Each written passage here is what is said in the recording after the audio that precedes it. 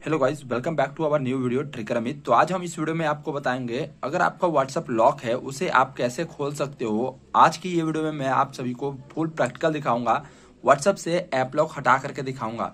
बहुत सारे लोग ऐप लॉक लगा लेते हैं व्हाट्सएप पे, लेकिन उन्हें हटाना नहीं आता है। तो आज की ये वीडियो में मैं आपको बताऊँगा कि आप व्हाट्सएप का लॉक जो है वो कैसे हटा सकते हो। जैसे कि आप स्क्रीन पे देख लो, हमारा ये व्हाट्सएप लॉक है, लेकिन इसका पासवर्ड वगैरह मुझे पता है, लेकिन मैं चाहता हूँ कि इस व्हाट्सएप का लॉक जो है, वो मैं अभी खोल दूँ, हटा दूँ, ताकि बाद में ये लॉक ना लगे।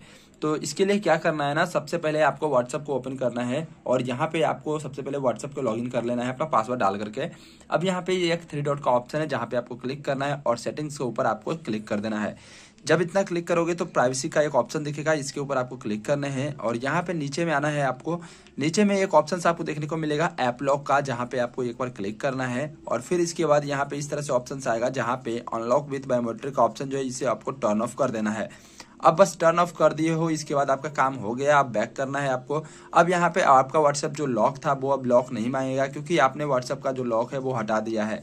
अगर आपका व्हाट्सएप का लॉक कोई अनदर एप्लीकेशन से लॉक लगा है तो आप जाकर के उस ऐप लॉक को सबसे पहले टर्न ऑफ़ कर लेना। उसके लिए क्या करना है कि फ़ोन की सेटिंग्स में आपको आना है और यहाँ पे आपको सर्च कर लेना है ऐप लॉक ऐप लॉक जब सर्च करोगे, आपको यहाँ पे ऐप लॉक का पासवर्ड जो भी है, वो डालना है। और फिर आपको यहाँ पे एक ऐप लॉक देख लो। अभी हमारा इसमें टर्न ऑफ़ है, इसलिए हमारा ये ऐप लॉक नहीं दिखा रहा है।